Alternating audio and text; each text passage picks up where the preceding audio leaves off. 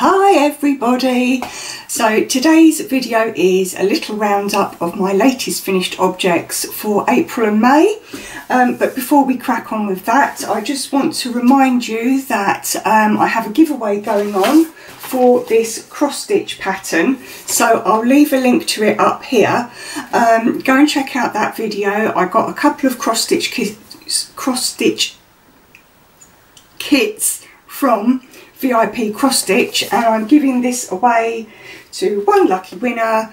Wherever they are in the world all they have to do is leave a comment on that video. So I just wanted to remind you all about that. I'll let it run for another week or so. So that's that if you wouldn't mind going over there and checking that out. So now on to my finished objects. So this I have just literally it's literally hot off the hook. This is a little crochet top here It has a little bow in the centre here, and I've put some buttons on the back. So I made it in white, and it has this um, lilac trim, and um, I've already made a lilac cardie which goes with this, which I showed you previously, which was a design by Kerry Jayne Designs. So I thought I'd make a little summer's dress to go underneath it and it's all matching with the bow. So this is a free pattern by um, Crochet and Create or Create and Crochet. I'll leave a link to it all down below. So that there is literally hot off the hook. I've just finished putting the buttons on. That only took me a, two days to do. Um, so the second thing, which I have shown you before, but I've got two of them here. look at those. They're so cute. So cute. Look at their little tails. Look at the little tails. These are two giraffes. These are made from Flutterby Chunky. Um, and it's a free pattern by amigurume.com and I'll leave a link to it below. oh, aren't cute? They're so cute. Ah. There we go. So they're really quick and easy to do as well. Very cute.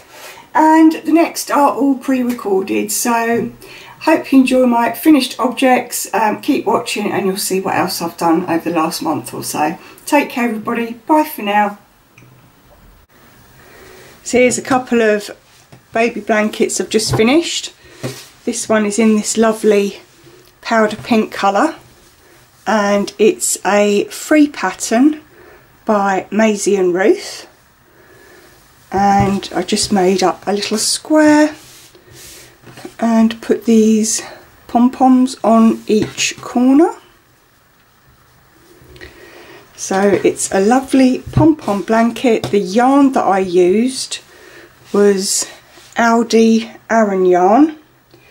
Um, it was one of the big 400 gram balls which I bought a year or so ago I think um, and yeah it's really lovely. So really like it. I really like the texture of the stitch. It's an Aran weight so it crocheted up really quick.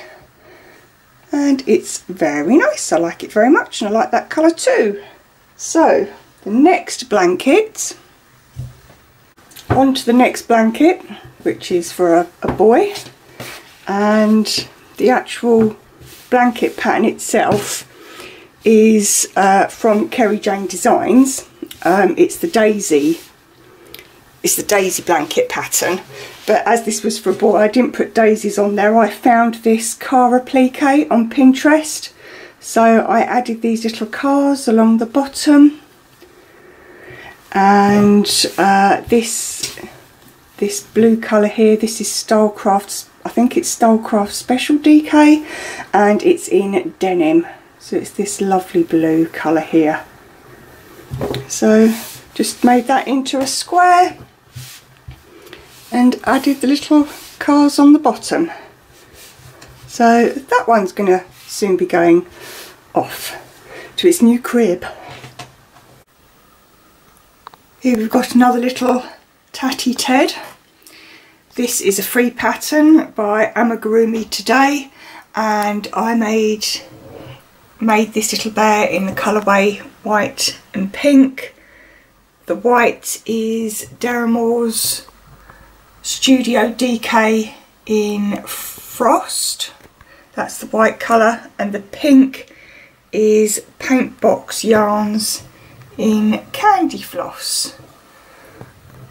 So there, there there's the little tatty Ted with the patches and the stitching. I'll just turn them round.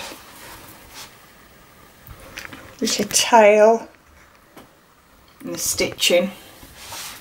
So just finished this one. Takes nearly as long to sew up and put all the bits and bobs on than it does to make the whole thing. But there we go, very sweet, very cute. I've just finished making these two sets of hanging hearts. Um, this is a free pattern from Pinterest. Um, I just made two of each of the same colour and lightly padded them, joined them and lightly padded them and then added this bit of jute or garden string as it's more commonly known. So this is in grey shades and these are in Style, Stylecraft DK colours. I think off the top of my head this is graphite, silver and hint of silver. And then these ones are in Deramores Studio DK and oh, oh no I don't know the colours but we've got a navy, we've got a taupe we've got a cream. So those two sets are going off. One set to my sister and one set to my auntie. So yeah, that was a, quite a nice quick little project to make. So just finished off this set of three dangly hanging hearts in this sort of like, um, oh, what would you call it? Sage green, pink and blue. And they're going off to my next door neighbour.